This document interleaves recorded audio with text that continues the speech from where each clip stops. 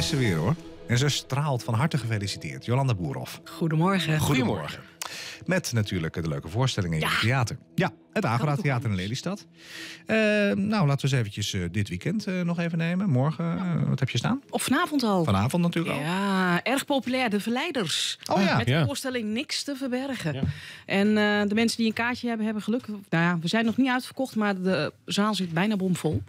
Eh, ja, en ze zijn door heel Nederland een ongelooflijk groot succes. Ook deels natuurlijk dankzij hun media-optredens bij Ja. eh, De Wereld Draait Door. Ja. Eh, waarin heel veel mensen toch weer hebben gezien, eh, nou ja, ook waar hun voorstellingen over gaat. Over eh, Farmaceutische industrie onder andere. financiën. Het, ja, gewoon, ze brengen het gewoon weer ontzettend vlijmscherp. Zijn het de mannen ook naar.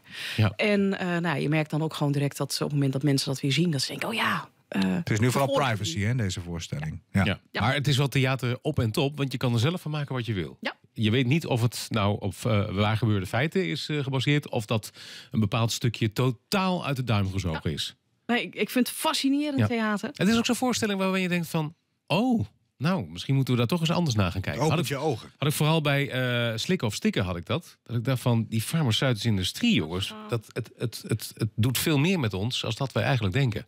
Ja, maar dat vind ik ongelooflijk mooi aan deze voorstelling. En dat is eigenlijk ook deels wat, wat eh, dit soort type voorstellingen bijna ook voor bedoeld zijn. Je gaat erover praten. Ja. En iedereen vormt een eigen mening. En dan krijg je inderdaad, wat jij net ook zegt, de discussie.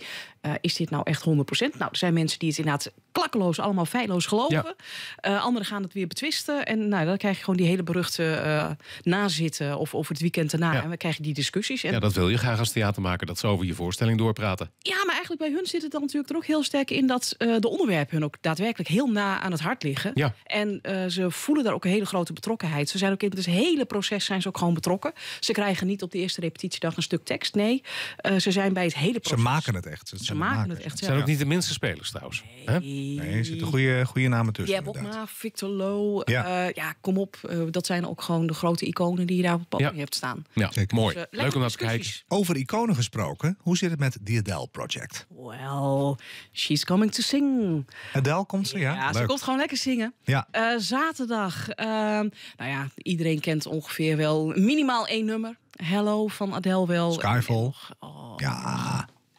Ik, ik moet wel zeggen, ik denk dat dit een van de... ehm, ehm, deze dame lijkt natuurlijk, als je haar zo ziet, helemaal niet op Adele. Nee, En qua stem eigenlijk ook niet. En misschien is dat juist wel het unieke van deze voorstelling. Dat je haar liedjes eens een keer van een hele andere kant hoort. Op een andere manier. Want Nou ja, zij is niet iemand die haar na wil doen of zo. Tenminste, nee, dat idee nee ik. absoluut niet. Ja, Ze staat wel in een soort gelijke jurk, wel een beetje om, om dat beeld te schetsen.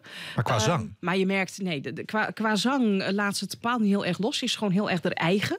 Eh, maar dat is denk ik ook gewoon het mooiste. Want dan zie je ook eh, gewoon de kwaliteit van Adele en, en de nummers die ze schrijft. Er zitten zulke mooie. Ik heb een klein stukje. Oh, dat was een heel klein stukje. Oh ja, doe het weer. Skyfall trouwens. Dit Skyfall, ja. And dreamed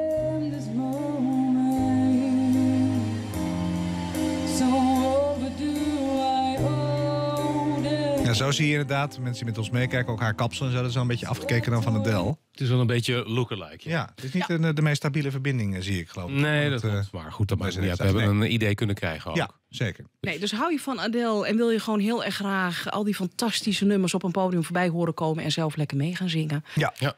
Kom eh, zaterdag naar het theater. Zijn er nog kaarten voor dus? Eh, ja, je Oké. kan nog gewoon eh Ja. lekker boeken op onze site. En dan zondag iets totaal anders. Ehm, Alone at Home met Joep onder de linden. Ehm, en ja, eigenlijk eh, bijna iedereen van een bepaalde generatie kent wel de klassieker Home Alone als film. Ja. Ja. En het is hier eigenlijk een hele losse vertaling van. eh, het speelt zich niet eh, met kerst af, maar het is wel een doldwaze. eh, eigenlijk gewoon avonturen. eh, met name ook heel erg voor kinderen. ehm 8 tot 12 jaar vinden het echt fantastisch. Martijn Fischer Ja, zit erin.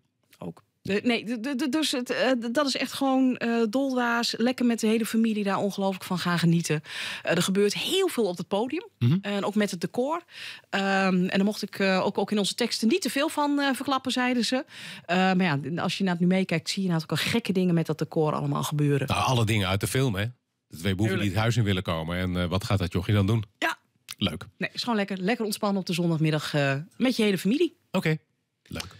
Dat was hem, of heb je nog iets voor... Nou, volgende week donderdag hebben we nog Hans Visser en, nu moet ik altijd even spieken, Irena Filipova.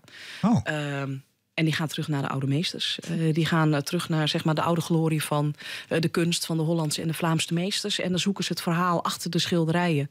En daar gaan ze ook muziek bij zoeken en eh, laten ze beelden zien. Het is heel erg populair, iets met schilderijen. Hè? Project Rembrandt hebben we dan al.